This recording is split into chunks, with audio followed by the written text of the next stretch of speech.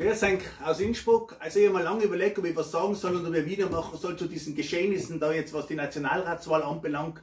Aber heute am Freitag habe ich mir gedacht, betrifft der Schlag. Höre ich im Radio, wie der Herr Nehammer, der Totengräber der ÖVP, der mit minus 11% ein Ergebnis eingefahren hat, wie es die ÖVP noch nie gehabt hat. Im absoluten Sinkflug. Und wisst, was er gesagt hat? Der Herbert Kickl ist gescheitert. Jetzt stellt sich das mal vor. Der größte Verlierer dieser Wahl sagt, dass der, was gewonnen hat und die Fraktion gescheitert sind. Nur, warum? Weil wir einen Bundespräsidenten haben, ob einer senil ist oder nicht, lasse ich im Raum stehen. Was er jedenfalls ist, ist überfordert, der praktisch erstmalig, erstmalig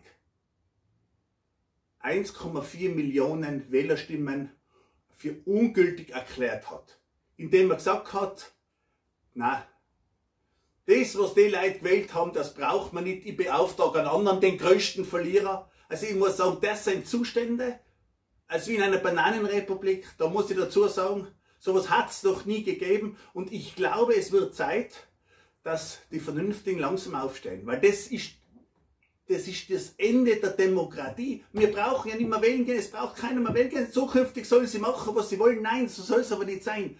Für diese Demokratie haben uns unsere Vorfahren, unsere Väter und Großväter gekämpft, dass wir sie gekriegt haben. Und das darf man nicht so einfach sich gefallen lassen. Und jetzt wird genau wie in der Corona-Zeit wieder ein Keil zwischen die Bevölkerung getrieben, wieder zwischen die Guten und die sogenannten noch Besseren und die Bösen. Na, das kann jetzt nicht sein. Also wie gesagt, ich kann nur meinen Appell von Innsbruck aus hinaussenden in ganz Österreich und ich hoffe, das wird so wie meine Videos, meine kritischen, in der Vergangenheit auch sehr oft geteilt äh, worden sein, wird verbreitet.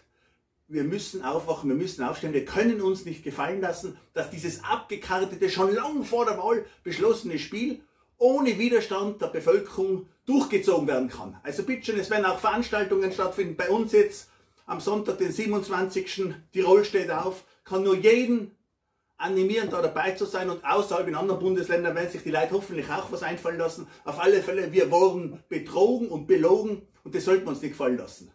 Macht's es gut, wir hören uns wieder. Servus und Hoch Tirol!